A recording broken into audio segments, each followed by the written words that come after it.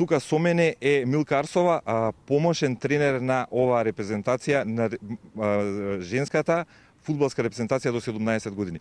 Милка, сакам да те прашам, а, вчера сигурно го гледаше над преварот. Да, какви се гледав. а, какви се твоите а, а, а, мисле, какво е твоето мислење за судијата, пред се за судијата и за надпреварот? А, за надпреварот, а, критика за ова давам на судијата и јас стојам за тоа. Бив за Хрватска, доколку не беше тој пенал, мислам дека Хрватска или би победила или би извадиле нерешено. Би посакала Хрватска да продолжи понатаму, бидејќи заслужува да иде дале. Добро, што очекуваш од, од, од ова светско првенство? Кои се, на пример, фаворити за, за, за освојување на светскиот шампионат? Мислам дека за мене се Шпанија, а, Бразил, Италија и Германија. А, Имаш 25 години, веќе си помошен тренер на а, женската млада репрезентација во фудбал до 17 години. А, како е тој предизвик за тебе? Па јас сум исто така фудбалирка на женската репрезентација. Е, самите повреди ме натера да размислувам и во другиот дел на тренерска кариера.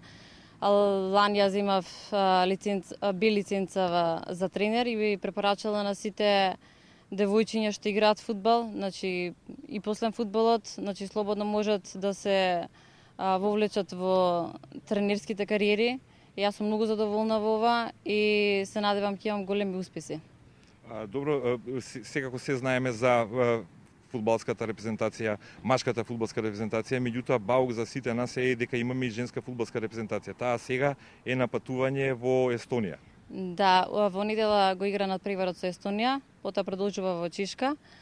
А селекцијава до 17 години во недела заминува за Босна и Херцеговина. Таму има развоен турнир што игра со Босна, Црна Гора и Азербеџан.